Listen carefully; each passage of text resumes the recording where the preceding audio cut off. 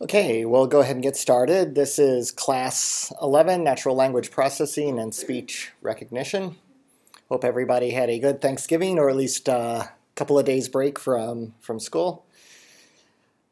So what we're going to look at tonight, this is a further application of LSTM. This will be the last class session we do something with recurrent neural networks. We're going to see how it can be used for natural language processing, which is a topic that it is um, commonly applied to. And then we're going to also see speech recognition, basically anything time series, anything that is digital signal processing. I will show you how to use through the through the web. Uh, you can use it directly in an API in your program. How you can use Google Voice, which is built upon LSTMs, uh, and actually under, have your program receive sentences as you say them and get them into your program and then even speak. So it's very interesting sort of area. You can build this entirely from scratch and create your own natural language processing and uh, speech recognition using LSTMs. Uh, I'll describe how you would do that, but then we're going to use Google, which is built upon LSTMs, and I'll show you a, a page that describes sort of how their technology works. Let me go ahead and show you too, because program 4 is program 4 is just sort of the first part of the final project, but that is due next class uh, session. So if we look at the the rest of the the course, because we're getting close to the end, class 11, uh, and then there's uh, 12 and 13. And then 14, since this is actually final exam week, I know a few of you have asked me uh, in person and also uh, I will consider this class pretty much an optional an optional class. That's the fill-in from the, the session that I um, that I wasn't here for uh, because of the, of the conference earlier.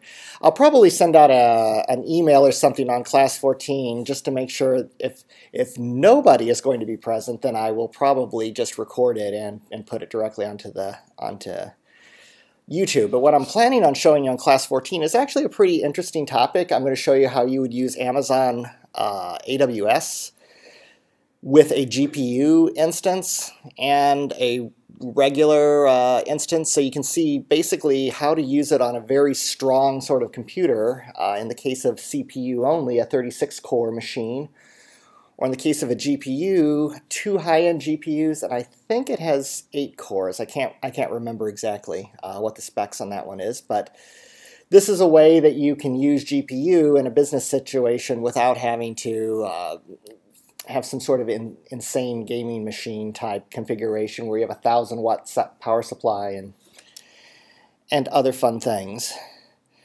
So program four is due next time. It's really just pick your data set for your for what you're going to do on the final project and just load it in and do some of the basic pre-processing on it. The main point of this is that you choose a data set uh, before um, before the week of, of 1219 when it's actually due. And that way, if you have any questions for me about the data set, or if you just decide you picked too, too difficult of a data set, uh, that's, that will let you know that early on. I do have some example data sets that I will show you that are, that are good, that are not hard, but decently challenging options from the University of California, Irvine which unfortunately is down right now. So I will show you a mirror site for that.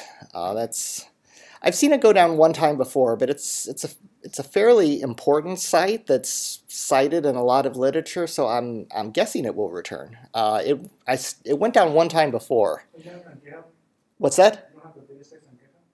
I do have the data sets on GitHub too. And I'll show you that too. I have them actually formatted like you would want for pandas. So if you're going to use one of the UCI data sets that I have listed, I would recommend you use my CSV file because it'll be, it'll be easier. But I'll show you what I mean by that. So for programming assignment 4, and again, the date up here is just when I generated the file, so that doesn't necessarily mean, mean anything. So this is just a precursor step. This is partly because I was going to have you do a time series. I was going to make this somewhat like programming assignment 2 and have you do a time series and a ImageNet, but then I realized data science workbench is not really fast enough to do those kind of uh, assignments without so I need to I need to come up with a, another way of, of doing that and I'll thinking about that for next semester but for this semester you, I'm just going to have you use it a as a precursor step to your uh, to your final assignment so basically, all I'm telling you to do here is just load your data set, encode the feature vector. So that's basically get it to the point that you can do the to_xy on it. And then just do a very basic train of the neural network. You don't even need to use validation at this point unless you want to. and then evaluate and just show a statistic of how good. I mean, that's going to be RMSE if you did uh, if you did a regression, and it's going to be uh, accuracy if you did a classification. And then the rest of the steps you can really just um, complete with the final project. For the final project, you're really just going to put, I list everything that I really expect on the final project PDF. And, and you probably will want to look at the final project PDF file because it does have some useful information for you, even at this stage.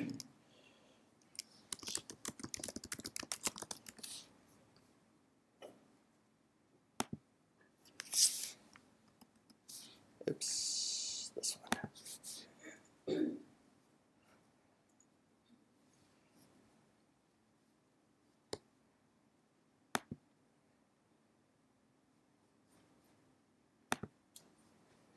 And by the way, if you don't download it and open it up in a PDF viewer, the links won't work because I have click here for link. It doesn't look like they work when you're in, when you're in GitHub.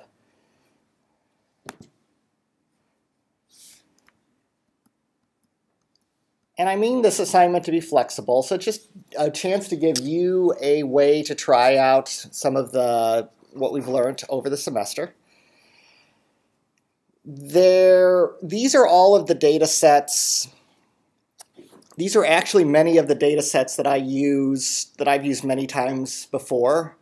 They're all on UCI. And they, so if you have questions about these specific data sets, I've worked with them a, a decent amount, so I'm quite familiar with them. None of these would be overly, overly complicated. If you decide to go for one of those computer vision data sets that I showed you before, those would be a little more difficult, but you're certainly welcome to if you want to. You can click the link to go to these. Unfortunately, like I said, the University of California Irvine's repository site seems to be down for some reason. That's very rude of them to do that right as my assignment calls for them. They did go down once when I, because I used a number of these data sets for my dissertation, so they, they were down when I was collecting them, which was, um, which is a little bit annoying. It looks like I don't have a link for the forest fire. Oh, it looks like it's actually linked right there, so, so that works. All of these data sets and by the way, if you need to see the UCI website, which you probably do because it, it gives you the description of what those data sets really are.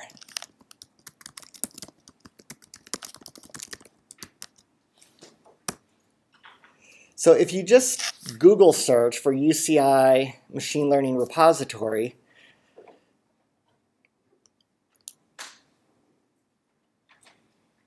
this is the real one. Actually, This is interesting. This is how uh, this is how Google works. This is the real one. This is the one that seems to be down right now. But the uh, I guess this is the University of Mass Massachusetts. So if you click on this one, this one is up. So this is a mirror of it. And you can see all of the data sets here. So any of those data sets that I, I have there, like if you wanted to go for forest cover, you can search for it.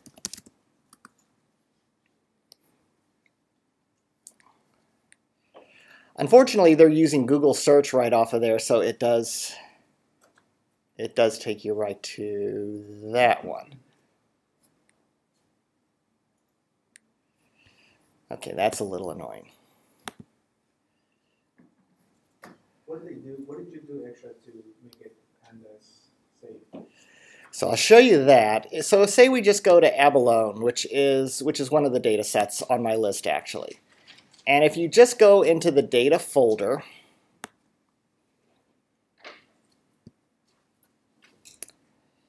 this is the standard format for a UCI dataset. The, the .data file and the .names file are the two most important ones. If you click on names, this gives you a fairly standardized description of the data set. They're not all as standardized as they should be, so but it does give you a list. So you'll see the first field is is sex, male, female, or infant, length. So basically what you're doing in this set, this data set, the abalone data set, this is a pretty common one. You see it in a lot of, of examples. There is a certain type of shellfish, I guess an oyster of some sort, called an abalone. I don't really eat these a lot, so I don't know anything about them. But they, um, what they wanted to do is see, because to find out how old one of these, uh, and most of these data sets that you see on UCI, they didn't collect this data just purely for the purposes of machine learning researchers. Usually these are other related fields in the sciences where they collected data to, to do something. What they were doing in this case is they wanted to know how old one of these shellfish is. And what they did was they took, um, it's difficult to tell how old one of these is. The way you tell how old one is, I think you literally cut through, almost like a tree. You cut through it and you count the rings because they keep adding another shell layer each time. That's difficult.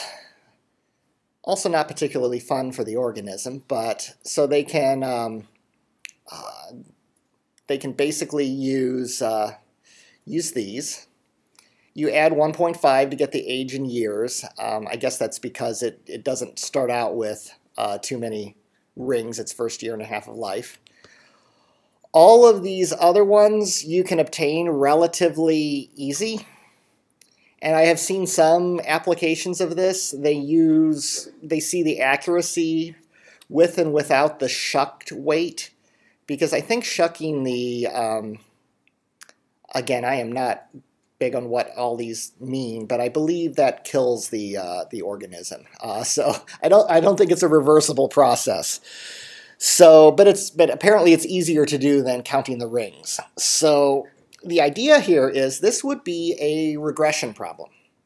And what you do is you basically use rings as age. You can add 1.5 to them all.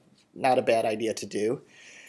And then you use all of these other ones, and if you notice, they're all continuous, except for sex, which is which is nominal. So if you were doing this, you would end up with three dummy variables here and probably z-scores for each of those.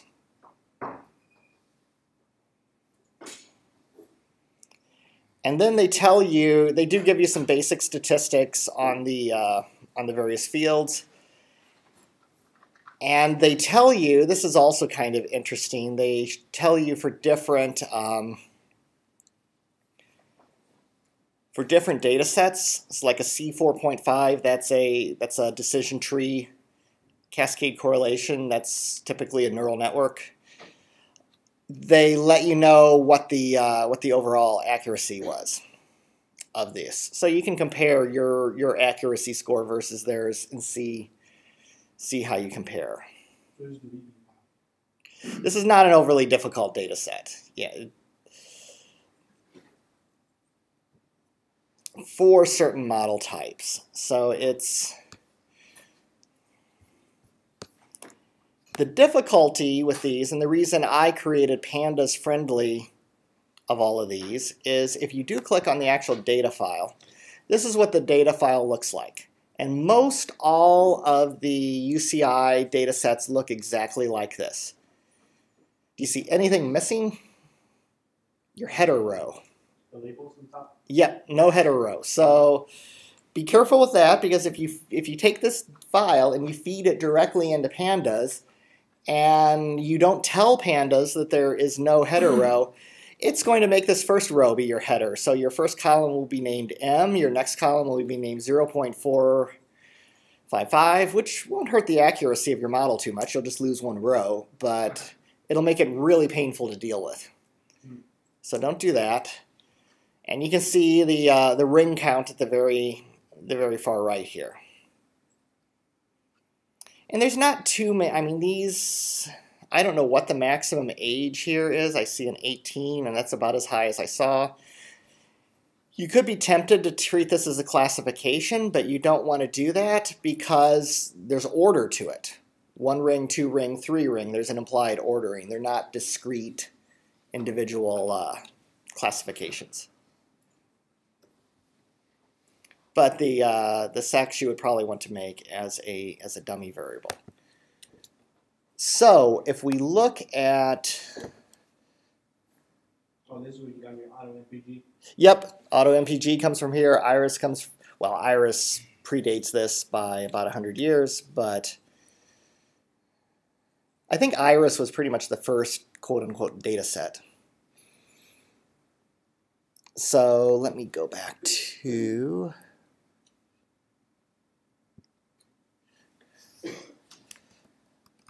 So you'll definitely want to look at the final assignment to do for because this, if you want to pick one of these or if you want to pick something completely uh, on your own, if you want to pick something completely on your own and you want to send me a link, then go ahead and uh, send me a link and I'll, I'll give you my opinion of if it's if it's more than what you might want to take on for a, for a couple of week project. Like baseball stats? What's that? Like baseball stats? Yeah, there you are. Predict the uh, predict the stock market.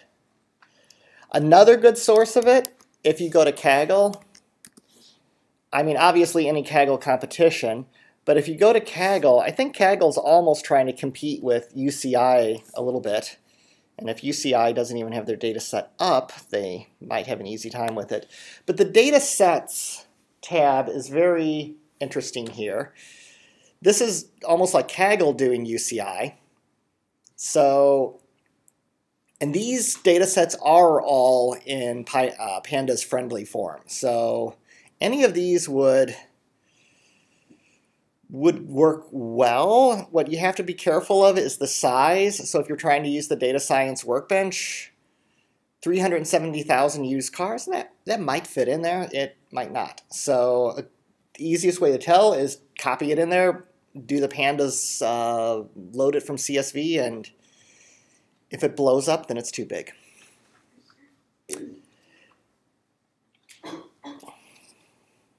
And of course, right now there's a ton of these related to the uh, to the election, which shows that blind following of statistics doesn't necessarily help you. So if you look, and you'll even see the IRIS data set. So UCI has been putting some of their data sets on here. If you want to play with it some, this might be what I use next semester instead of Data Science Workbench. I don't know. I'm still I'm still evaluating it. But Kaggle does have something that's very similar to Data Science Workbench. If you go to any of these, once it eventually loads, you can basically see all these kernels so these are other data sets that, or these are programs. Kernels are programs. So these are programs that other people have run, have written, and run with these, these data sets. So the ones that have a lot of votes are ones that lo uh, a lot of other people particularly like. Most of the UCI data sets are in Kaggle. So you can go to one of them.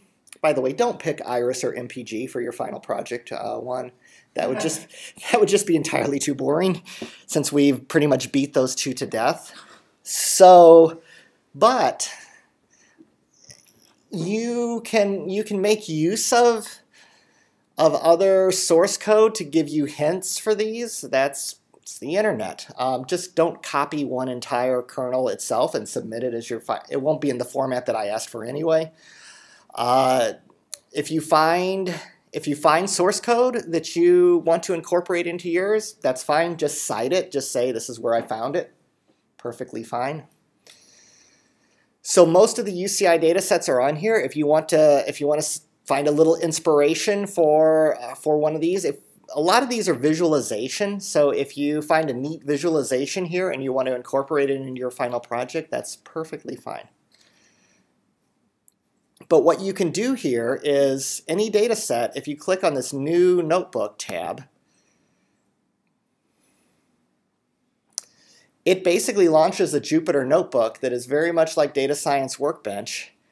And you've got code right there that you can run. If you run this, it's just showing you that it's loaded the iris data set for you. But you can put in any sort of Python code that you want here and run it. I mean, this is pretty much a live uh, this is not running on my computer. This is running in the cloud. So it, it could use TensorFlow. It does have TensorFlow in there. In fact, it has a much, it has the latest version of TensorFlow, unlike Data Science Workbench. So uh, if you if you want to use a Kaggle dataset and you want to use this tool, uh, that's also perfectly fine. Uh, then I'll be curious for your impressions of, of it and how well it worked because this there's a lot there's a lot of people using these using these data sets so and and Kaggle's execution of them so I assume it works pretty good but and then you can literally publish it if you publish it then basically the world can see it and and you can share it so in theory I could put I could use this like GitHub and I could put all 15 class sessions on here and you would access it through Kaggle. This did not exist when I did my Kaggle my Kaggle entry, so this is this is a new something new that I did not realize they. I knew they had kernels, but I didn't realize they literally let you launch a Jupyter notebook right in right in Kaggle. So this this is another source of data sets if you want to find one here. It also looks like they, it also looks like the Kaggle notepad can handle bigger data sets than, some of the Kaggle data sets are pretty, uh, pretty intensely big. So what you can do when you submit, this is a great way to, um, to learn about how some of these work. So the Nature Conservatory Fishing Fisheries Monitoring, what this does is it shows you pictures of fish that they've caught and pictures of it, and you try to um, you try to figure out what type of fish that is. And they do give you a warning that if you go looking through the uh, the uh, pictures of the fish being caught, that some of the images might be disturbing, uh, worse than that guy who's got a hook going through him. But um, but the point is, this is a whole bunch of images and if you look at the data set, it is zipped nearly a gigabyte. So that is a gigabyte of images. And apparently you can run these through, through Kaggle. I have not tried this, but what you can do is if you look at the leaderboard, you'll notice these top 10 guys, and, and as we go down, I'll know it when I see it. Okay, as soon as you see the first image like that, what that says is, you might not be able to read the small text, but it says view the script that created this submission. So what Kaggle has done now is if you have no aspiration of necessarily winning the competition, but you feel like you've made a pretty good script that a lot of other people might like and upvote, you can actually submit your code to Kaggle. They'll run it and do the submission for you. And if you click on that, you can click fork script and that would create you a new notepad based on this one and you could modify it and go further. So you can see there's been eight forks of this particular one. There's 10 versions of it. And what's very interesting to see is this is a this is a pretty complicated image recognition program or challenge, but the code it's not gigantic. I mean, that's that's pretty much it. That does his entire submission. So I don't know how long this runs for. This is using another, um, this is using a, this looks like it's using Keras, which is another deep learning package. But you can see, even though this is not TensorFlow, this is something related. It's very similar to what we have. Convolution 2D, max pooling, we had those, convolution layers. ReLU for the uh, ReLU activation function. So deep learning, regardless of which of these packages you're using, and the main ones are Keras, um, Theano, and a few a few others. Okay, so different ideas for the data sets. I do give you a link down here where I have the pandas friendly version of all of those. So this is back on my on, on the class website. So basically, I mean this is just the site that has the, the list of all the things. So if you go up here and you click on data final project, these are all the CSV files. And if you click on one, like Abalone, GitHub actually recognizes that this is a CSV file and puts it into kind of an Excel type format. But basically, this is my, you can click on raw and you'll see my raw file. All I did was take all of these data sets and basically just put column headers on them mainly because these are the main data sets that I use to experiment with new algorithms when I don't want gigantic data sets, and I, I just keep a set of them with the column headers right there. It makes them, makes them easy to work with. Okay, so that's basically basically it for that.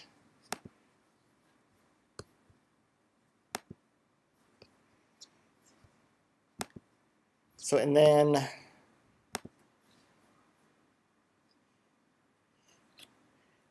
yeah, since UCI is is somewhat dead and it doesn't and the the mirror site doesn't let you search, I will post I'll post in the forum on Blackboard links to the mirror site for all of those data sets so that you have them. Otherwise, you've got to try to navigate your way through the through the mirror site, which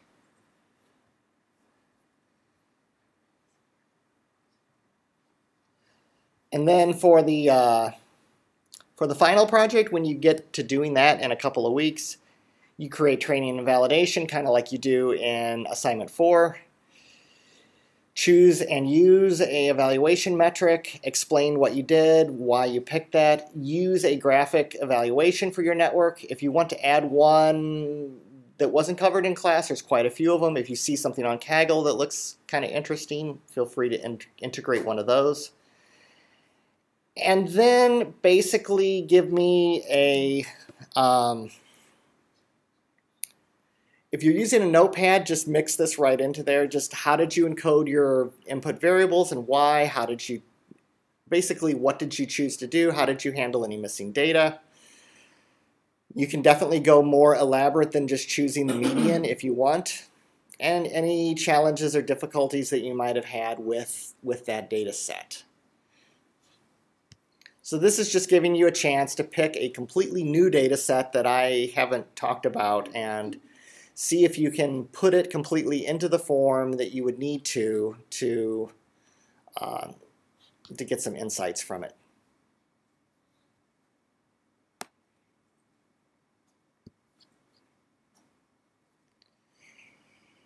Okay, so that is the remainder of the uh, of the assignments for for this semester.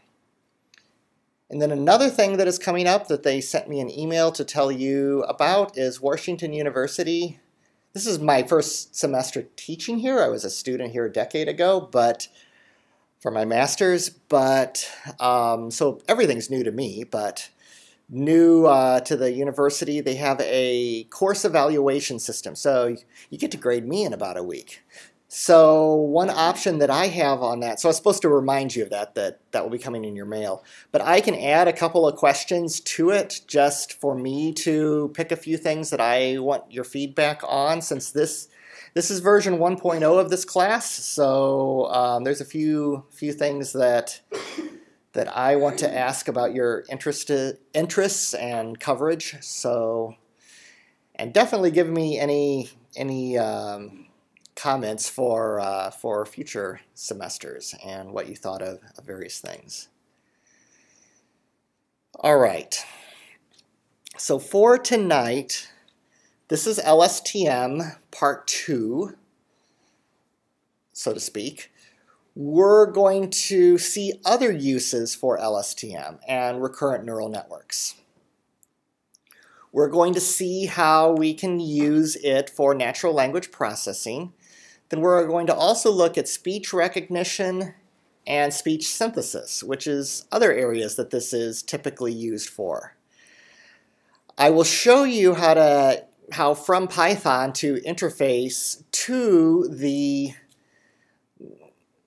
to Google Voice, which is an API which is actually using LSTMs and and other technologies. Usually you don't use deep learning in its absolute sort of purest form. We get into that next next time. So like AlphaGo, which is where they were finally able to beat the uh, a Go champion. It uses deep learning. It uses deep convolutional neural networks to look at the Go board because it's they treat it sort of like an image recognition problem, but it's hybrid. It's using uh, it's using game theory type min-max algorithm and and other tree processing. So I'm going to I'm going to give you an overview of how AlphaGo was implemented because that's one of the more famous deep learning applications. And to be honest with you, at least to the point that I understand how um, AlphaGo works because it's it's and I'll point you to the to the actual academic paper, but um, you can see how some of these pieces come together. And for when we get into the speech recognition, if you just wrote your own pure, raw, deep learning neural network, you would probably be able to recognize individual words and, and that sort of thing but they usually augment this with other technologies because you almost need some idea of English sentence structure and whatnot to actually figure it out. Like if you wanted to give it a particularly mean sentence that it handles beautifully, if you said something, you know how in English, to, that might be T-O-O, it might be T-O, it might be T-W-O, it might be a number, it might be um, also, or it might be... Um, so if you look at the sentence, two pies is too much to eat, uh, that one sentence has all three forms of the English two in it. So if the speech synthesis were just looking at sounds, it, it would have to, I don't know, it would pick one of, it would pick TO probably because that's the most simple one and give it to you. So we'll see how to do that. I'll show you how to use Google Voice literally from Python because if you do want speech synthesis, you probably don't want to build literally that whole thing from scratch with your own LSTM network. If you did want to use your own LSTM network, you would probably be doing some sort of robotics application where, I don't know, you're listening for traffic noises or, or certain kinds of other things. And I'll show you how Google Voice can handle some of the classic problems of, uh, of AI, uh, speech recognition. It, they've gotten really, really good at it. It's, it's pretty amazing to see what it can all handle when you, when you throw some of the, the known difficult problems. And then we're going to also see what another branch of LSTM and net, neural networks, generative models. If you hear of a generative model, that basically means it can generate output without necessarily giving it input. So if you think about it, time series, you're always predicting sort of the next interval. You can feed the prediction back into the input and have it just kind of predict on and on and on into the future. They do that in finance a lot. If they want to take something out very far, like a year, they'll have it, okay, predict the next month with the current month, but then they use that predicted month to, uh, to learn the next one. And that's how you use LSTMs to generate, I don't know, Shakespeare sentences when you've trained it on Shakespeare writing and that sort of thing. It's, it's kind of interesting. And it does have some practical application. So let me go ahead and I need to get this in Data Science Workbench because if I have it just in GitHub, it won't run.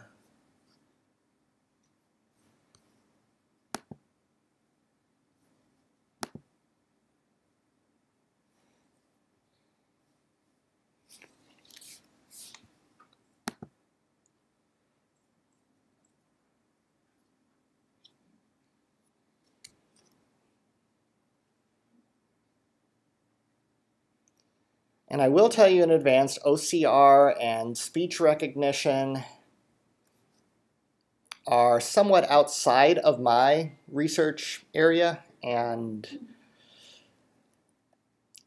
but I will I will take you through this to uh, at least to the depths that that I have dealt with them. Okay, there's one of these nice errors from Data Science Workbench.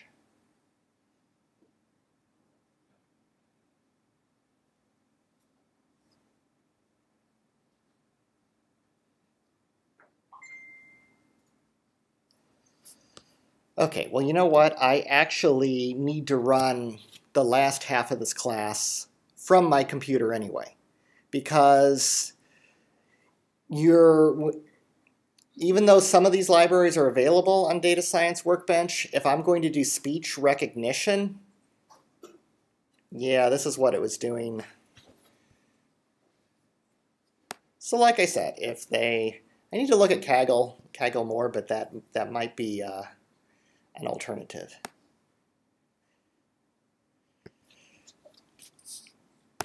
All right, let me just launch this.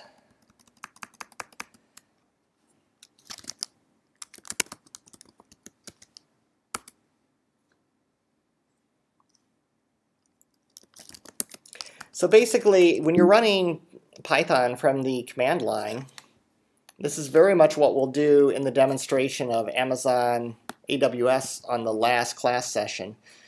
What I basically do is I launch one or, or more very powerful AWS instances, and they're off running in the cloud. And basically, I get I get remote.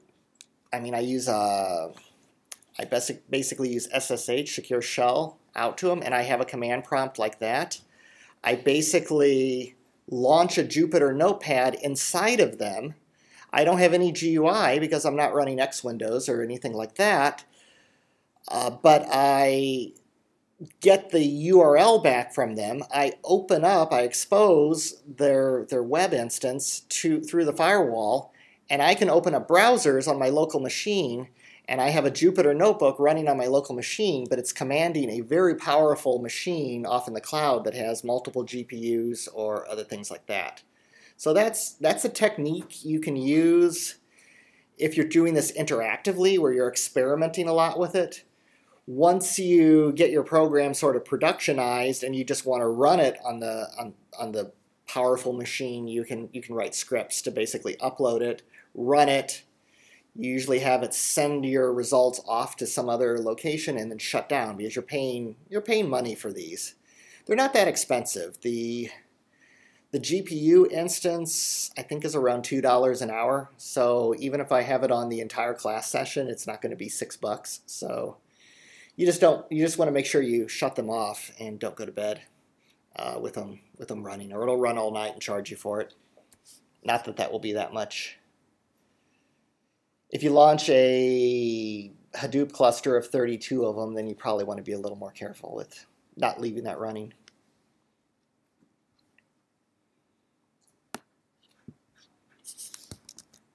Okay, so what I'm going to do, source activate and Python is a very powerful feature of Python. This is how I can have multiple versions of Python installed at once. So I have a link to to how to do that um, in one of the earlier class sessions, but I have a I have an instance of of Python on my machine called WashU, WUSTL. In that one, I have the zero. I have it basically set up exactly like it is on Data Science Workbench. That way, I don't accidentally use something that you guys don't have access to. So you do that, and then Jupyter notebook, notepad. And what this will do is it launches the it launches a web web browser. So this is the same same data that we saw there. So what I'm going to do is show you first completely in this is 100% build it from scratch LSTM network for um, for opt, uh, not optical character, uh, natural language processing. So this is going to use something called DBpedia, and DBpedia is, is a pretty neat project in and of its own right. It is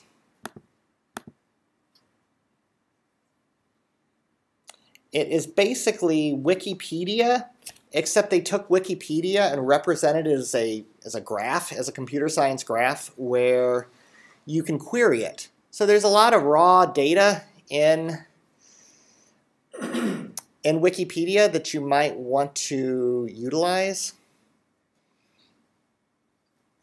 Let's see, I tried to load that. Okay.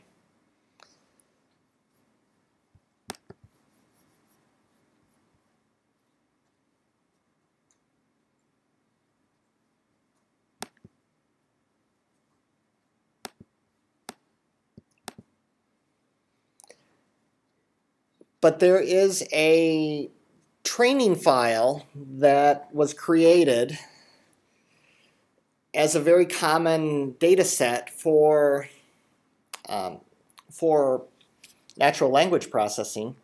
I give you a link to it at this location. If you click this location and open it, it's basically somebody's Google Drive, and they give you basically the files that we would need to actually run this. So you would want the dbpedia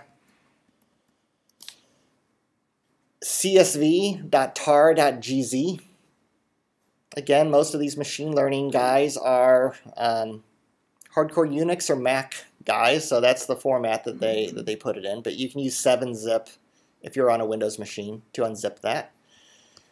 I have it already loaded into Data Science Workbench. It's decently big. It's not gigantic. And what it does is if you look at this file,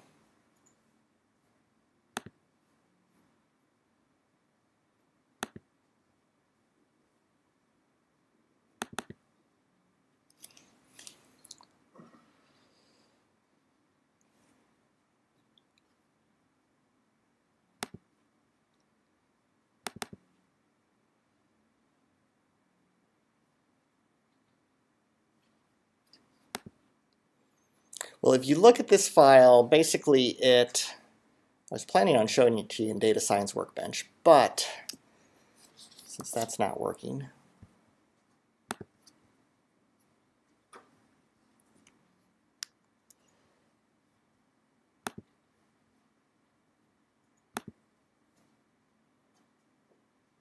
yeah, here it is. About 174 megabytes. Go ahead and open it in Excel, that'll work. This file basically gives you, and I'll let that run while it's doing that, These are the labels. So every article in here, so these are the articles in Wikipedia, these are what they classify it into. So basically it's, this is a fairly high level 14 class, I don't know, system of buckets that you could put every Wikipedia article into. Either it's a company, it's a educational institution, you could have perhaps grouped those together. An artist, an athlete, an office holder, a means of transportation, building, natural place, so on and so forth. Ones that don't fit into these buckets, they don't have in the list. So that's how they, they sample it down to a, to a smaller size. And what you're trying to do is see if using natural language processing type techniques, if you can learn to classify these into, into these buckets, basically from learning it. Normally, if you didn't have an LSTM, you would probably use something called bag of words, where you would pick maybe 500 very common words and you would keep counts on those. But this uh, deals with the fact that each of these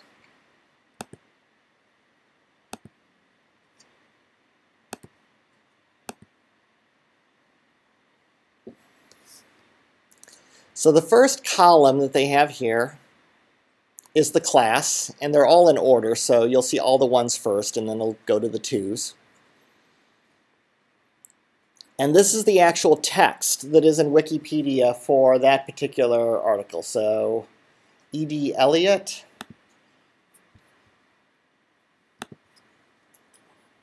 So these are these are the companies that are the ones. Yeah, JVC, uh, most of these I have not heard of. They're from around the world, though. So these are all sorts of companies. The LSTM will deal with things that are close together. So if you were just doing bag of words, it would just do a count of these individual words. Whereas the LSTM, since it's linearly processing through it in a sequence, it's able to deal with the fact that certain things are next to each other. So United States of America would be dealt with as a unit rather than having a bucket for United that would increase by one, states would increase by one. You probably wouldn't keep something for of because that's a stop word, uh, a not so important word. Some of these are very short, doesn't matter. This one is basically just telling you it's a porcelain manufacturer in the Czech Republic. But this is what your data file is looking, like, looking for, looking like, looks like. The second column is not used, that's just the title. And it's checking for the accuracy of how well it can learn that. Because a traditional non-recurrent neural network, if you look at the original paper that this, that this data set is from, doesn't do particularly well because you have to use bag of words for it. What you like line 14 and line 11 when you get the garbage? Okay, so what's going to happen with this is it's literally doing, so there's several ways that you can do natural language processing in with LSTMs. You either do it character by character or word by word.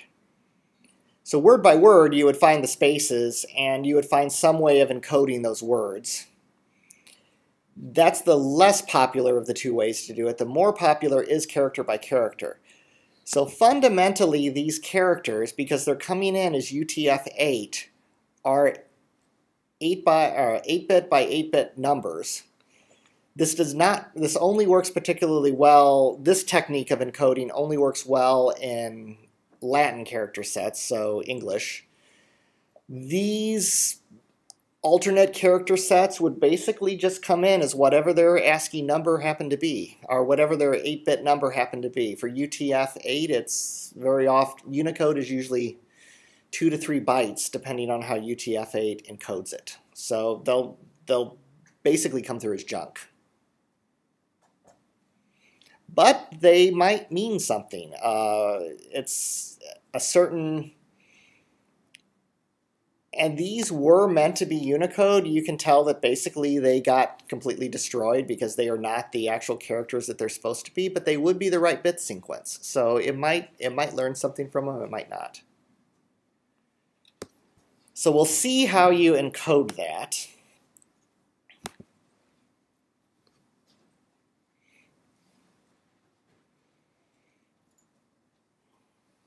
So TensorFlow TensorFlow is basically a compute graph, very similar to Spark in an abstract sort of way, meaning it has this whole group of nodes, input data coming in, and it doesn't really, it's very lazy. It does not compute the values until it actually needs to.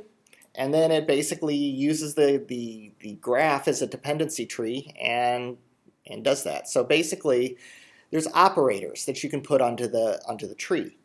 Not next class, but the following class, which is the advanced uh, deep learning topics. I will show you how we can basically drop skflow. So skflow is what we've been using up to this point.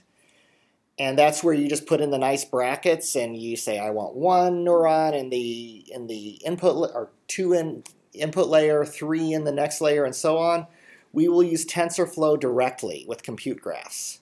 And you'll see that the little six-line program that you wrote for uh, your your input, your three-layer neural network is now 30 lines. And that's usually you don't want to do that, but sometimes you do want to specifically control the architecture of your neural network. That's not what we talk about the entire uh, the entire class session, but that is one of the things I want you to see so that you can really see what's happening at the lowest level. Because literally, you specify your inputs.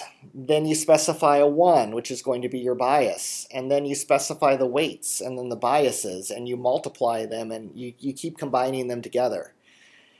It gets even more, you do have to expose some of this when you're doing the, the uh, natural language processing because you basically want to allow it to pass strings into the neural network largely in this form. But neural networks don't take strings in that form. You need to do some processing. And the usual way that you do this, even when you're using skflow, is you add very special operators onto this to get the data into exactly the form that you need it to be. This is one of the first things I sat down to figure out looking at some of the uh, examples with this because a lot of the examples, they just show you literally what does it look like? This. So basically, this is what a, a natural language processing, you see this a lot with TensorFlow, this stacking of operators. But I was very curious to know literally what does the data look like at each handoff. So I that's that's what I ended up studying a few weeks ago when I was putting together the, the class material for tonight because I really wanted to know exactly how it's feeding this this into that. So that's what we will look at. That's what we'll look at first because it's it's very important to understand if you want to know really what's happening, how you can all of a sudden just pass something like that into a neural network, into an LSTM, when you're thinking in terms of sequences and, and input neurons and that sort of thing. So we'll see exactly exactly how to do that. And that's actually a decent time to take the, uh, the 10 minute break. It's uh, 7 o'clock, so I'll show you the rest of that and we will resume at about 7.10.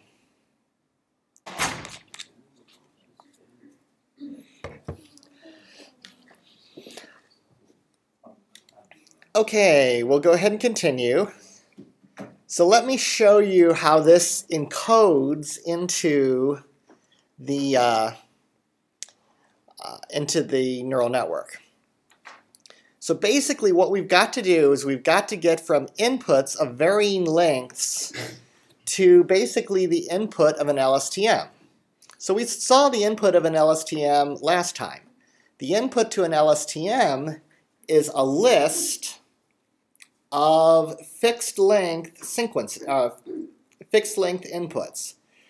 So those inputs map to the, uh, to the input neurons of the LSTM. And then there's a list of them that basically specifies the, um, the sequence.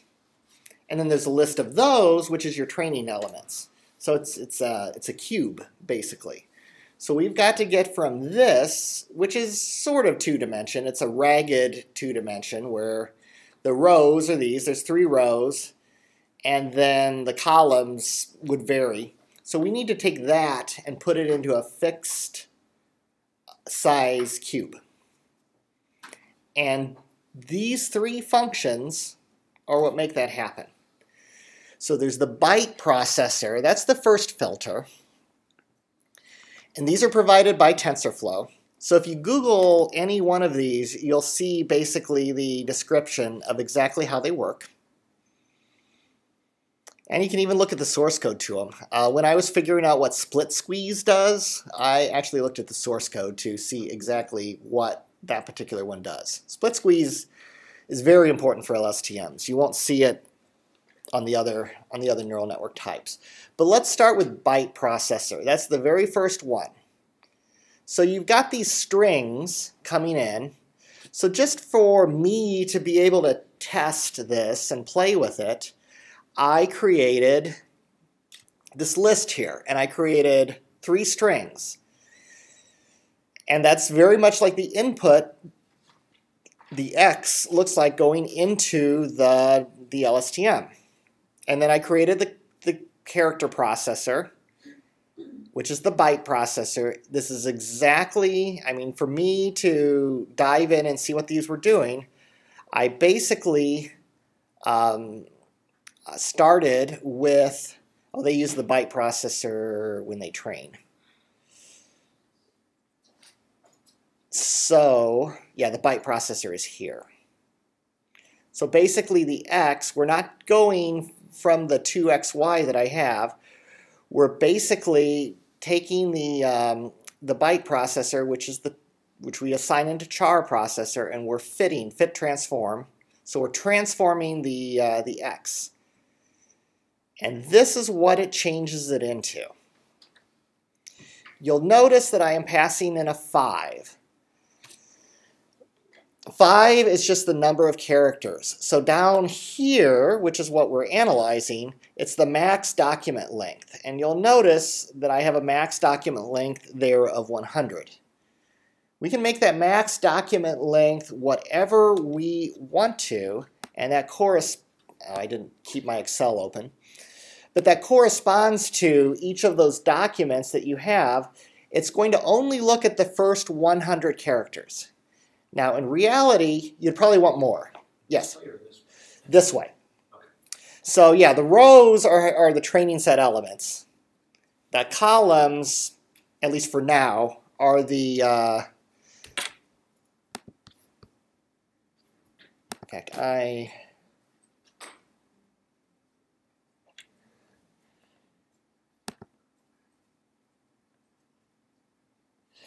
Yeah, I'm going to let that just open because I'll probably refer to it in a moment. And again, you might want to do more than 100. That will, that will only help it, but it'll make it run slower. This program does actually run in Data Science Workbench just fine. It takes, oh, it takes, it takes about a half hour to completely train. So we're not going to obviously run it completely through tonight. But this is what you get back from it. So if you notice, as you break this apart, the square bracket, that means that it's just a primitive Python array. The word array here means that it's a NumPy array. So there's an array in an array.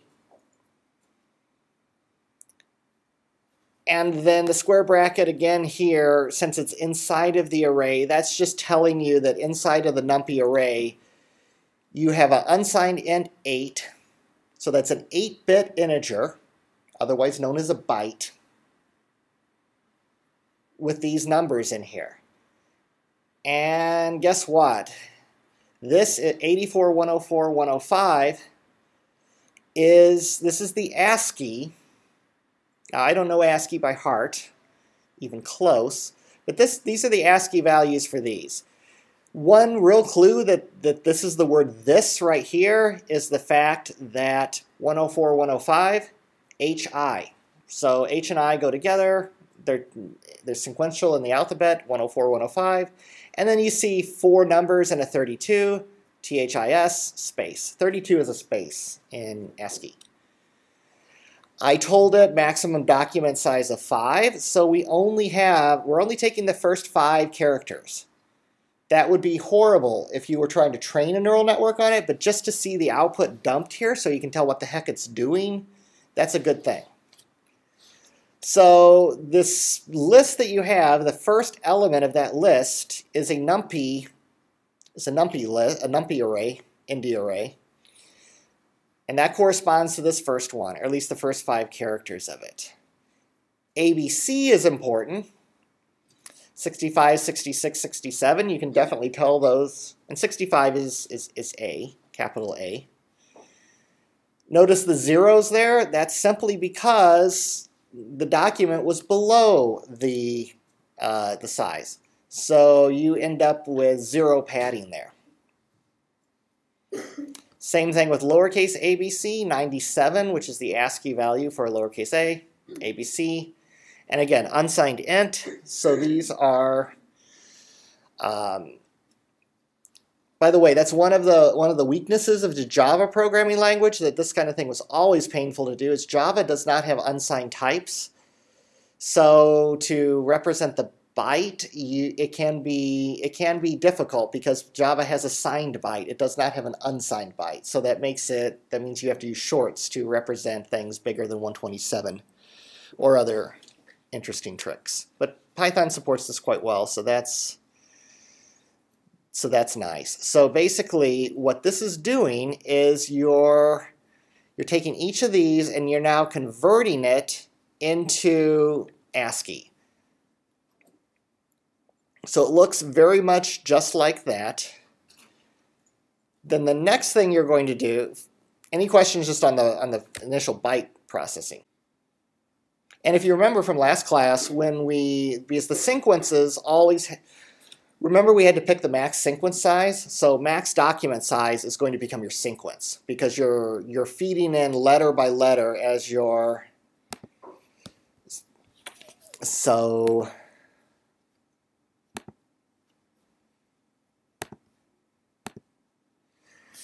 So as you're going through these companies, these are going to become your sequences. You're going to you're only going to have you're actually going to have 256 input neurons, but we'll get to why that is in a moment because there's um, um, 256 different values in a byte.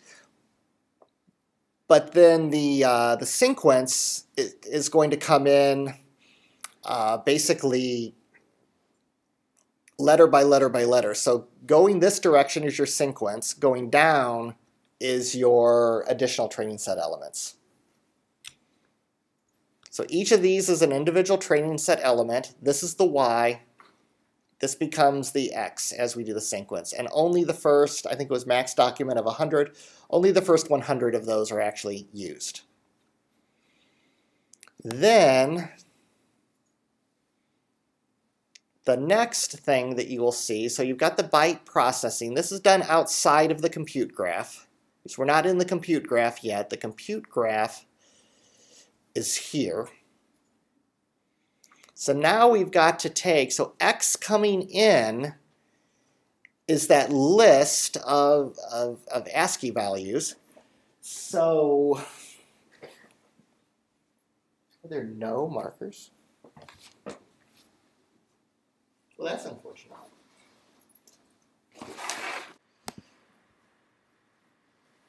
What we're going to start with is basically Photoshop. in Photoshop, you're going to so you're going to have your training set elements. So something like A, B. This might be even worse than my normal handwriting, but ABC. That through the byte processor is going to become 65.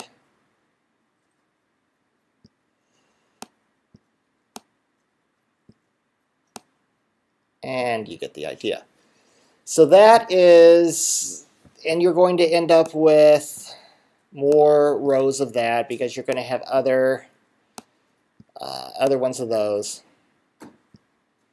So essentially you take a bunch of strings And now you have a matrix over here. The number of rows is equal to the number of rows in your training set. The number of, um, uh, of values is, or the number of columns is equal, is fixed. It is equal to your uh, maximum document length. Now, this is, you'll see why this takes so much compute power. This is colossally wasteful, but this is literally how they do it, and it works well. The next thing that you're going to do is a one-hot encoding. One hot, one one interesting thing. I mean, there's all sorts of terms for exactly the same thing. One hot encoding is very common term in scikit-learn. It means exactly the same thing as dummy variables. So one hot encoding means you're just going to have some, so if you have a hundred diff, if you have 10 different classes, you're going to have 10 zeros all in a row and one's going to be one. One hot encoding. Same thing as a dummy variable. So that's the next thing that we're doing up here, except it's going to be a one hot matrix. So if you thought dummy variables were pretty inefficient as they are, because basically you're taking one value and blowing them out to, uh, to that, this is even worse. So what you're going to do is you're going to end up with another matrix where basically, so 65, how many possible values are there? There's 256 possible values because you're going from 0 to 255. So you're going to end up with a matrix that is, you're going to end up with a cube, basically, that is zero. So the, the first element of that is going to be 0, 1, 2, all the way up to 65, which is going to have a 1 in it. So you're going to end up with all these kind of, uh, and again, this is really wasteful of space because we're using the full 0 to 255. Even though we're only using, I mean, upper, lowercase, 26, 52, maybe some apost maybe some, I mean, maybe a 100 of those at most you're, you're actually using. The rest of them are but that's how they're encoding it. You could compress that down if you if you wanted to, but that's how they handle Unicode. So Unicode characters will encode into these as well. So, and I have something printed to show the, we have to go past all the training stuff. So when you compress, when you run this, remember the max document size was 100? This is what it transforms it into when you do the, uh, the one-hot encoding, one-hot matrix. There are 560,000 documents in this training set. You have one, so that's sort of the rows. 100 possible characters that you can have because that's the max document length. So 560k rows this is a cube. 100 possible values across. That's what we had before. That was the matrix that we had uh, coming out of the, the, the first encoding. And now the depth of it is 256 because there's 256 possible character encodings. So the total number of bytes that you're dealing with is that times that times that. So big. It's a, it's a lot of data. That's your entire training set. So this, this basically at the, at the end of it is a cube.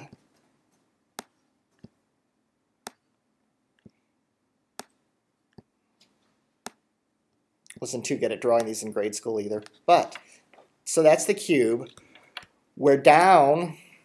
That's your that's your training set. So that is that is basically your your rows. Across are your individual um, elements of the document, so those. And then the depth is the one-hot encoding. So the, the 0 to 255. So the depth, the depth is just a way of getting this into one-hot encoding. And the reason we're doing the depth is because we, the whole purpose of one-hot encoding is so that you don't, if we didn't do the one-hot encoding, you would just basically have this, you would have this matrix. Instead of having 256 input neurons, you would have just one, and you would feed the ASCII values directly into the neural network as a sequence. The problem with doing that is you introduce bias because you assume that two numbers two letters that are close together, A and B, have some special meaning to it. So you want these as 100% discrete values. Like male, female, infant in that other one, if you made zero for male, one for female, I mean, where would you put infant? Would you put infant in the middle of male and female or on the end? And where would you put male and female? Which would go first? If you can think of a bias you want to introduce with that, that's, that's fine. And I have seen encodings where they do introduce sort of a bias. They end up with a hypercube, but they they put things in that space close to each other. So all the vowels go close to each other. Characters that have similar sounds go close to each other. Um, you're dealing in you're dealing in hyperspace at that point, and it gets it's not real mainstream in terms of examples that you'll see of this, but that's that's why it's a cube, because we are basically taking every single character and replacing that number to, we're treating them not as numbers, but as discrete values, 256 different discrete values, of which only one will be have a value of 1. So you're going to have an extremely sparse cube.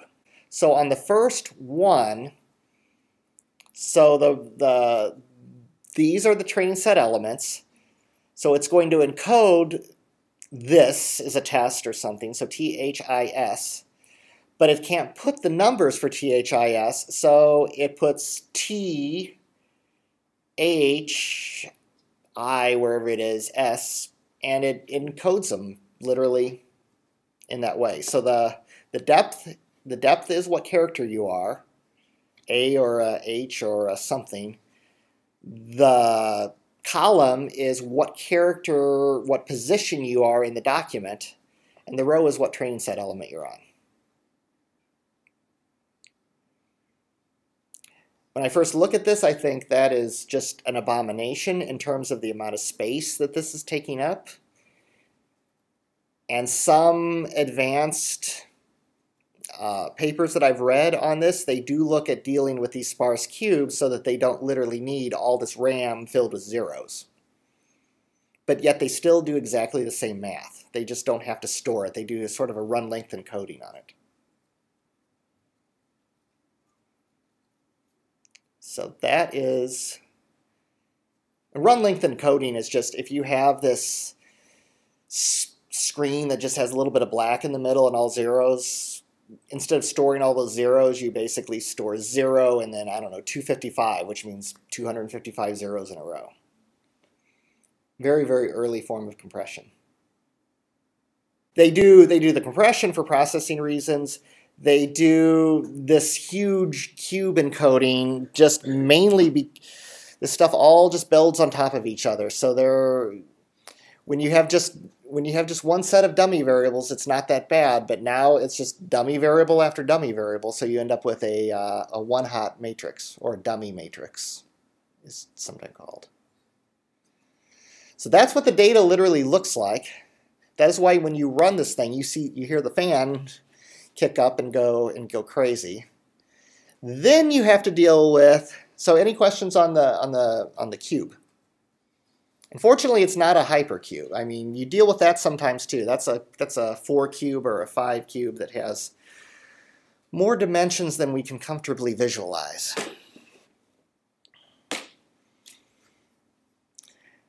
And then you do the squeeze.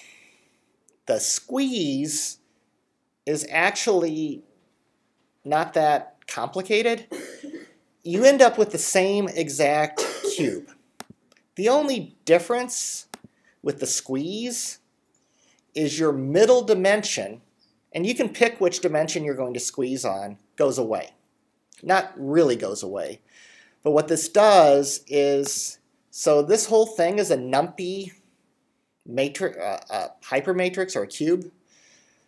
What that is going to do is it's going to squish it back down, so it's going to lose a dimension. Cube loses a dimension, it's now a matrix. But you don't want to lose all of those, um, all of those other matrices. So you now get a list, a primitive Python list of matrices.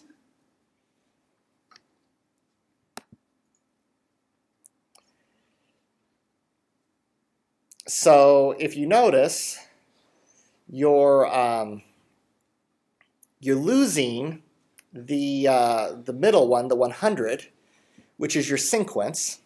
So this now gets you to exactly the same shape that you had, similar shape that you that you have with LSTMs, where basically the sequence is now the big giant 560,000 rows, 256 across. So those are your um, those are your dummy variables. So this is getting it to character at a time. So each one of these is just one character for all of the training set elements across the dummy variables. 100, that's your concept of time. So the list represents time with all the matrices stacked across. And you have to do that last step because that's, remember last time we had to send data into the, uh, the sequence in as lists.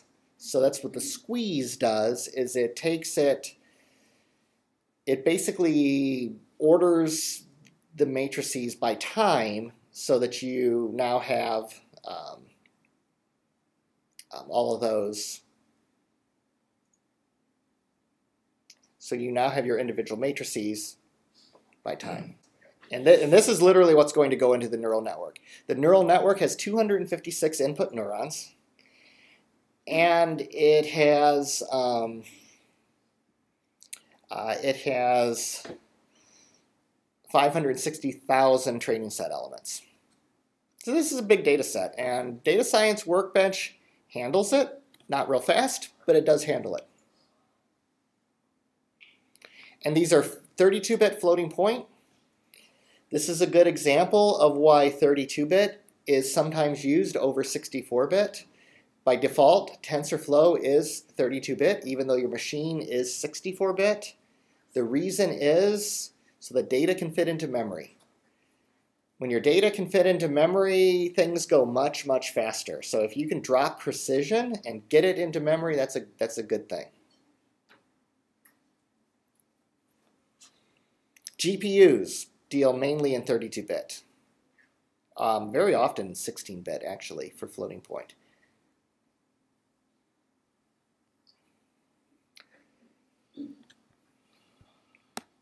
Okay, so if you run this program, and I'm not going to do it because uh, if, I, if we ran this and waited for it to finish, that would be the last thing we're doing tonight. So it's not the last thing we're doing tonight. So this is basically showing you the training, and I'm pretty sure that's a log loss, which makes sense. And it, it falls in value, and then it shows you the accuracy, and that's a normal accuracy. So after this first, if you look at what we're really doing, I run five times and I do five fits. And notice how I have continued training here. If you add that parameter, you can do that to any of these TensorFlow networks. That gives you a chance to come up for air, so to speak. Because when you call fit with the, with the thousand steps that I've allowed it to have, it's going to run for a thousand steps and it's not going to tell, it's just going to tell you this. So continue training tells it, keep the neural network in a state that I can retrain it.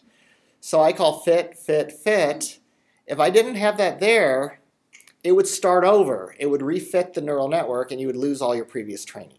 So that's, that's a handy feature to do.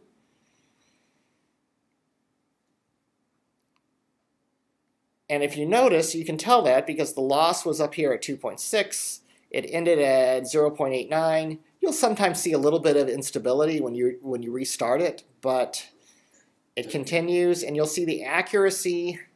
So this is good good for losses going down, good for accuracy is going up. So as this goes down, the accuracy goes up.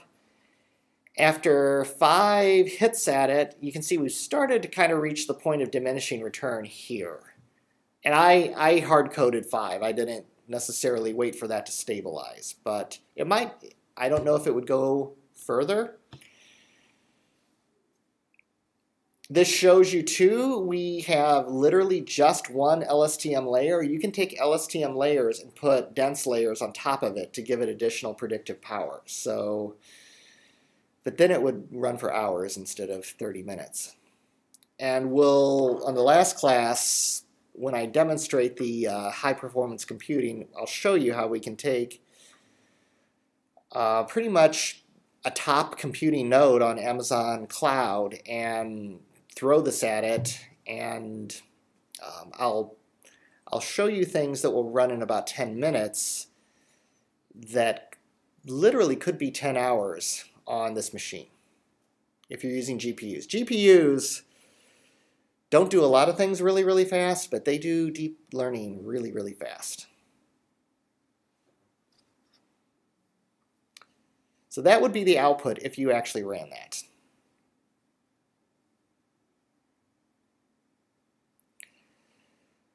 All right.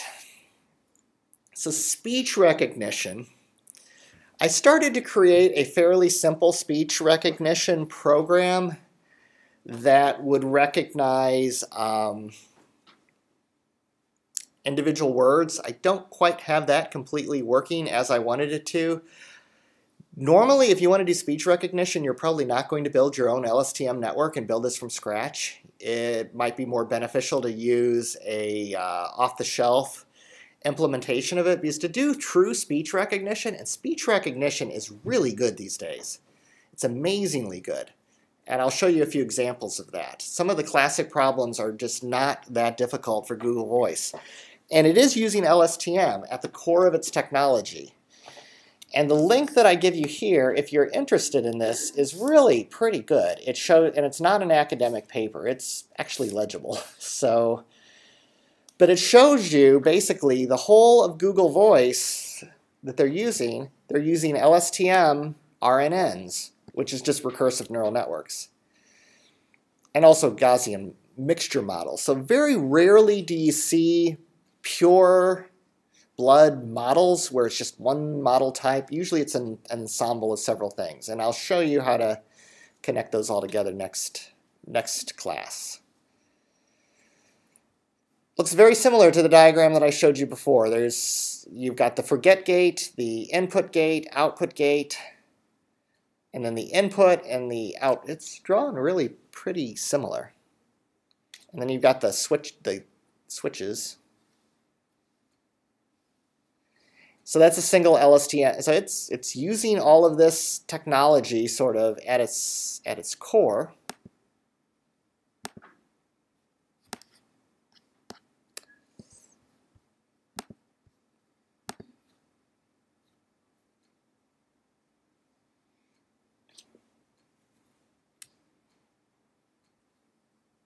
Oh, wait a second, that's not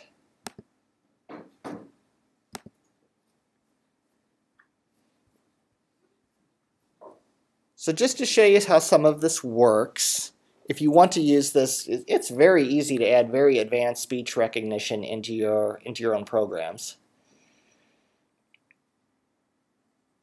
This does require PyAudio, which you can easily install. I give you some of the commands up here to actually install those. And if you run this, see, I think my I think it should play it through the room speakers. If not,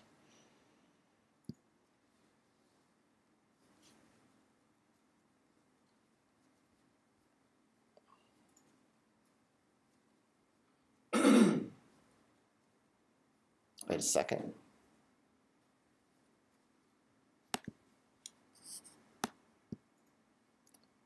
This is a test.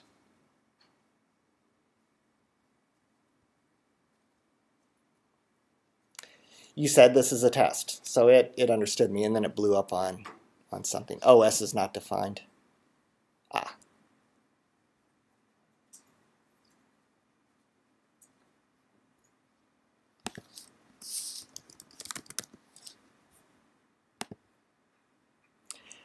This is a test. I believe you said, this is a test. Okay, so we're using speech recognition and speech synthesis. So um, to show you how this is working, because this is relatively simple, you can do R equals, so you're creating a recognizer. We are basically opening the, um, the Python, the computer's microphone. I'm printing say something, and I'm picking up audio. This is basically giving me back a WAV file, but in memory. I don't want to write it to. I mean, if you use Data Science Workbench, that's the only way you could do this. You'd upload a WAV file of what you had said, and, and it, would, it would understand that. And then essentially the recognizer, that connects to the web when you call recognize Google. Now there's several competing APIs that you can use, all of which Python supports. I have not used this um, professionally for, I mean, I, I don't do speech synthesis uh, and recognition. The closest we've come to this is we, uh, we might do a project where for the data science group, um, obviously on our own time, where we create a little Christmas tree that you can talk to and tell it what, um, what Christmas music to play. We might do that next year. But you can do very advanced things with this. This is used a lot in touch tone voice response, where you call on the phone and you have to interact with things. I mean, there's versions of this where you can hook it up to that and you, you script these kind of things.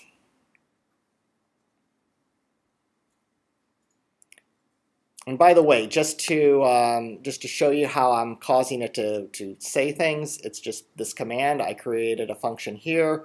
I'm basically issu issuing a system command that says say. Because on a Mac, you can you can do a, a, shell command that says say and then some text, and it speaks it. So if I just run this very simple little program. Shall we play a game? Now that's from uh, War Games. I'm probably dating myself, but wouldn't you like a nice game of chess? But um, but what's very interesting about this is Google has solved a lot of the a lot of the things that you couldn't normally, let's see. Yeah, let me run this one. Hello there, please say something.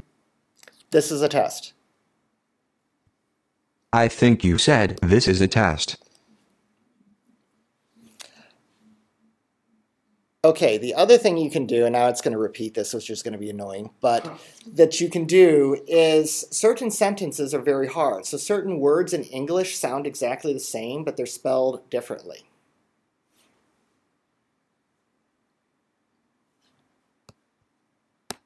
I'm going to stop it. So I don't want it to repeat all of that.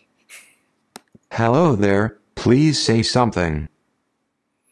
Two pies are too much to eat. I think you said two pies are too much to eat. So if you notice, it, I mean, in English, one of the many annoying things about the language is two, just the sound two, there's three different ways to write that. The number two, um, the quantity sort of two, and then two, the I don't even know what you call that, but my wife would know, the languages scholar. So who and whom I can't deal with. The, the three twos I can deal with. But, um, but it knows that. And there's, um, there's other ones where if you say my dear friend or my pet dear, two different spellings, D-E-A-R, D-E-E-R, it figures that out. If you say the hunter shot the deer deer, D-E-A-R, D-E-E-R, it doesn't figure that out. That That's, um, at least I don't think. Yeah, I I I too much of two pies or something like that. Yeah, and if you and if you use if you use bad grammar, sometimes it'll correct the grammar for you, which is actually not it being helpful. It's it's it being um, too over relying on its uh, on its um, on its algorithm. The other thing that it can do that is pretty amazing is um, background conversation. That has always been an issue for um, speech recognition. So I could basically say, okay, we're taking a break. All of you guys are talking to each other. There's all kinds of noise going on in the background. But I can walk up to one of you and we can have a conversation because our brains can pick apart the person that we're talking to from all of the background noise. And that has always classically, until not that long ago, been a, uh, a, prob a problem. So let me, I mean, I'll show you that just because it's, it's kind of um, interesting. Let me go to the one where it just does it once.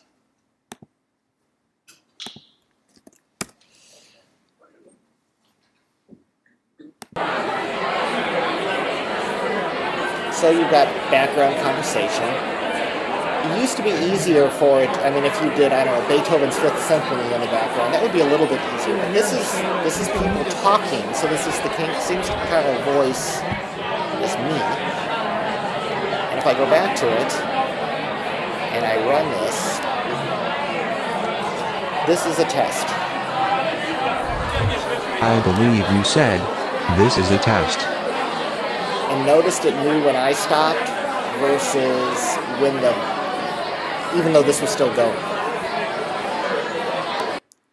So they've they've gotten that pretty advanced.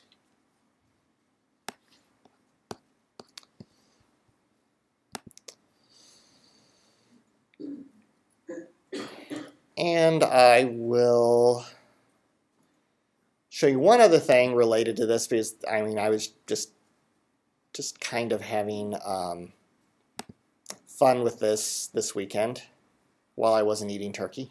So, um, okay, now this will date me for sure, but this is even before my time. Uh, but there's a very old program called ELIZA. And ELIZA was one of the first natural language processing programming. I think it, yeah, it was created between 1964 and 1966 by MIT. So this was, I mean, basically it is a program that pretends to be, I guess, sort of a psychologist or a psychiatrist. So you talk, a counselor. So you talk to it, and it asks you questions, and it it, it goes on its way, and it's some somewhat eerily seems like it actually knows what it's doing, even though it has no idea what it's doing. Uh, but what it's doing is basically have reflection, so it tells you that was and were, I to you, all of these, just so that it can handle different types of, um, of words. But the real heart of it is, I don't know if you've ever dealt with regular expressions, but regular expressions are awesome. They're great for parsing text. So what this just says is this is a regular expression. If you tell it, I need, that means any character within that sequence so if you say, I need an apple, it would say, why do you need an apple? Or it might say, would it really help you to, to get an apple? Or, or other things. And of course, um, I don't know if I was... So all of these different things are sort of pre-programmed into it. So this shows you how you can take something like that and make a slightly more advanced um, um, program. And I was playing with it here. It, it has certain things for that. So I would say, my mother hates me, which is not true. She's just fine with me. And it responds, when your mother hates you, how do you feel? And I say, I feel sad. And then it just kind of repeats, you feel sad. Yes, I do feel sad. And then it says, okay, can you elaborate a bit? Uh, but I won't take you through the whole the whole process there. But uh, you can write your own chatbot on this and basically put your own regular expressions, fairly complicated, and Um, I will show you one thing. When you say the word quit, it has real problem. It, it's it's a lot weaker when you have just one word by itself because it doesn't have any context. So very often it would think, and I don't know. I think this guy likes to make fun of that particular profession, but he's this is not my opinion. This is just whoever wrote that. But when you say quit, it very often thinks that I said quick. Uh, because if it had more words, it would figure it out. If I said I quit, yeah, because you wouldn't say I quick. That doesn't make a whole lot of sense. So that's very simple program, but you can run it and it will do that. Chat bots, lots of I don't know AI researchers do this in their in their spare time. Uh, there was a, you might have seen this video already. It went somewhat viral. I thought it was kind of funny, and you almost can't talk about natural language processing and chatbots without seeing this.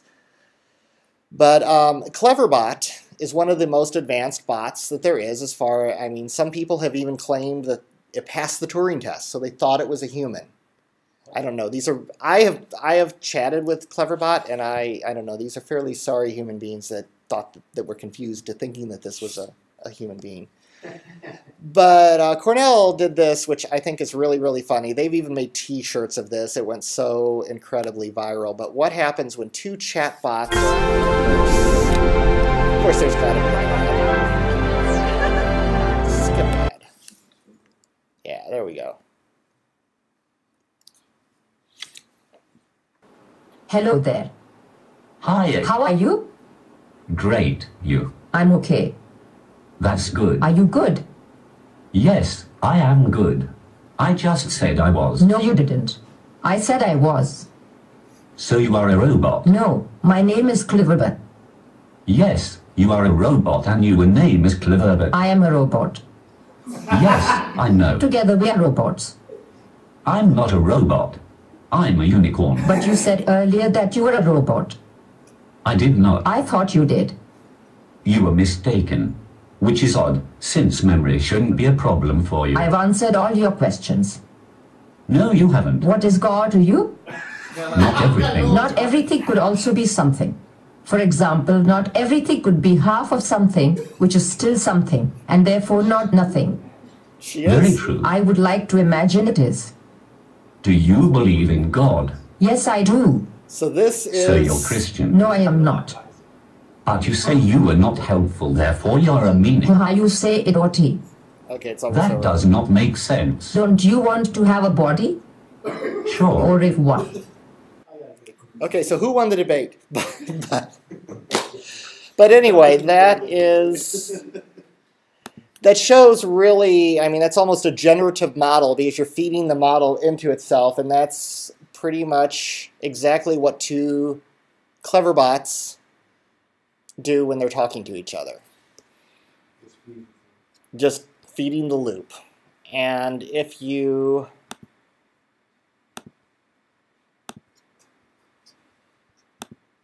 So this is what this is. Cleverbot does use a. Okay, now I lost my. Uh,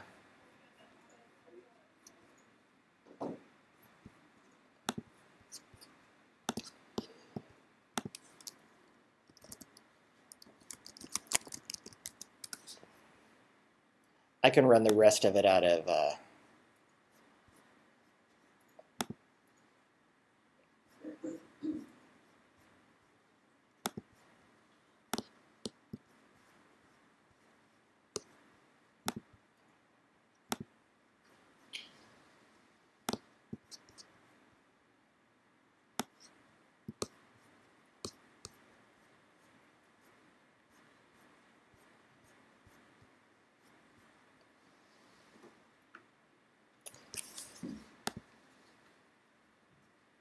So that is, this is actually Cleverbot. So you can click the link that I gave you, and you can talk to. Um, now it's somewhat random, but you can just tell it anything you want to, and it's using this sort of thing to tell you that. It's very easy to prove that a bot is a bot. Um, my wife is Tracy, which is true. It says something fairly meaningless, but my name. Um, her mother is named Bonnie, also true. And it tells me the name of her of his mother. I think he I think Cleverbot thinks I'm talking about my mother. And I can just say who is my mother-in-law. And they almost never get anything right where you have to basically do a little bit of uh, inference and a little bit of memory. So you are my great. So that is so I, I really don't understand the person who thought that they were talking to a actual human with Cleverbot, but uh, that's the limitations of some of the some of the technologies. These do work pretty well for the sort of automated uh, help desk people that they that they want to have you be able to talk to when you uh, when you call in. So another area of that of that technology.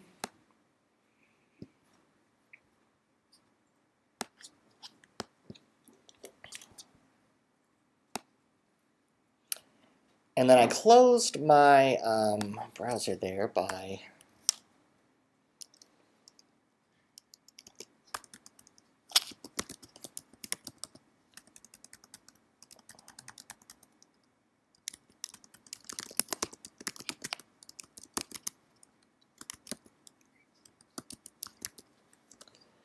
So this is a link that I have. I unfortunately closed my uh, page for the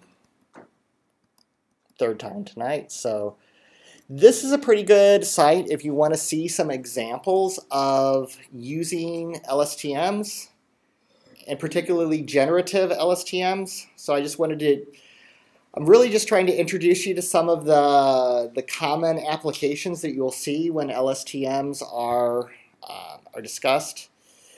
What's neat about his website is he has this all available in JavaScript. So this is very easy to actually um, uh, run. They you you can use LSTMs to basically um, to caption things. So it can scan and it can find just the part of the number for street addresses because this is a common data set. You can download this. This is just I think the Google car has got a hold of these, but they look on they also use this for CAPTCHAs, but now that the AI is getting good enough at reading this, they're not as they're not as good as of CAPTCHAs as they had before. Another common approach eh, or common uh, application. So he didn't do a uh, Shakespeare generator, but he did a Phil Graham generator. I am not familiar with Phil Graham, but apparently he left a number of essays.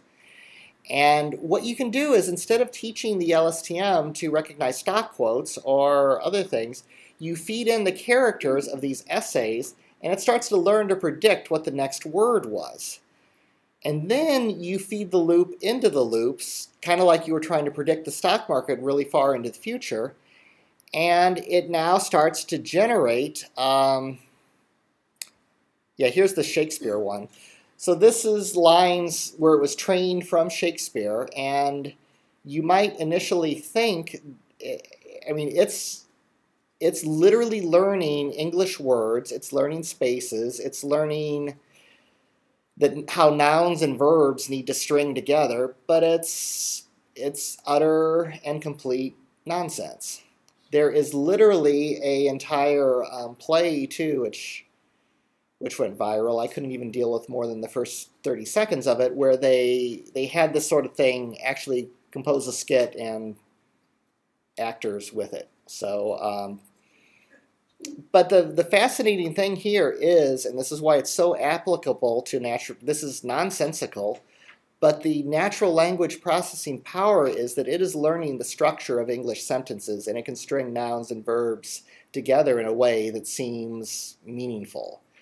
So that's one step away from it, learning how to actually just read the entire of Wikipedia and learn how to read English, um, English text. If you take it really, really far, I don't know, it, it I'm guess. I mean, it would almost have to enter some sort of a loop because I doubt this is an infinite series. But that that's a good question. Uh, I have not built a generative LSTM from from scratch, but this is this is a very common example that you see on these. So I wanted to, I did want to show you that particular um, use of them. And I put some links onto my site as well. I mean, people have used these to compose music, which is very interesting. It will list, it will listen to one particular genre of music, and it's not very good after a thousand or so iterations. But by the time you got it up to about 25, it, it, it sounds like a song, but it's it's not a song. It's but um, it it picked starts creating drums and other instruments, and even instruments that don't necessarily exist in the real world. Or you can train it on English speech. And that's really creepy uh, because it will learn to, you can Google it, I'm not going to, going to play that one, but it, it picks up the structure in, in English and the word you, you almost, it almost sounds like English babble. Like it should be English, but it's, it's not. Um, uh, it's kind of creepy, actually. So that's, um, and they've done it in a variety of languages. There's a, there's a very viral sort of uh, example of them doing that in, in Japanese. So anyway, that is LSTMs for um, for a whole variety of of purposes. What they're what's very even though these are very nonsensical is where they're going to, and I gave you a link to the paper. I have only read part of the paper. It's it's in there, but it's called um, it's called uh, Natural Language Processing from Scratch, and from almost scratch. This is a pretty famous um, paper I find it absolutely fascinating because they're basically doing all they're doing is taking what other papers have done on natural language processing, but they're learning it completely without having to uh, train the neural network. I mean, the neural network trains, but they're not like building noun graphs and grammar trees and, and all that kind of stuff. This has been applied in other areas. This would be a great dissertation if you wanted to just pick something other than natural language processing and just teach an LSTM to do it from scratch. It doesn't even have to do it as well as the paper you're emulating. It just has to show that it's sort of learnt it.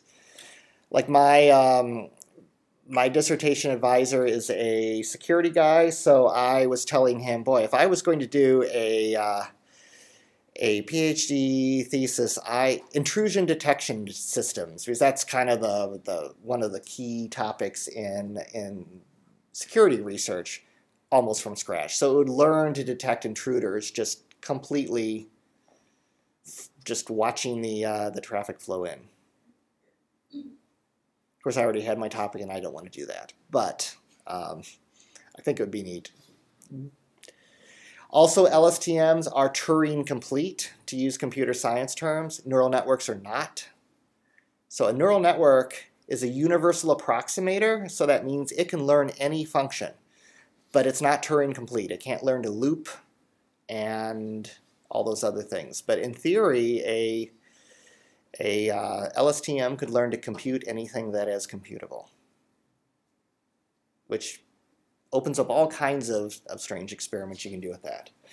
So anyway, that's all I had. I wanted to basically just show you how to actually do a, a NLP type classification that's way more, that one that I showed you before where you're classifying those documents, that will do it way better than you could do with a traditional neural network. So I showed you kind of how to implement that. Then I also just wanted to give you an idea of uh, the real advanced areas of the research like Google, um, speech recognition, and the others. So unless there's any other questions, that is that is all I have for you for tonight. So submit everything should be open in Blackboard. You should be able to submit program 4, which is really just the main idea that I'm looking to get from that is have you picked a data set and have you done the basic encoding so that it can go to a neural network without blowing up on an array out of bounds error?